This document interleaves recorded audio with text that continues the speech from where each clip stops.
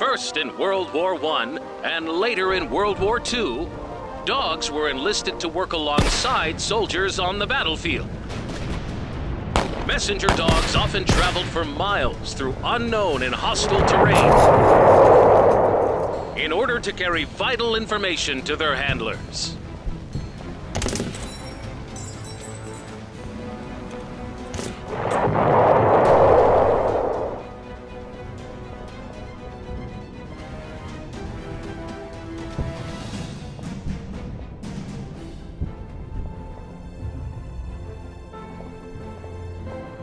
Well, Private, we make it out of here alive.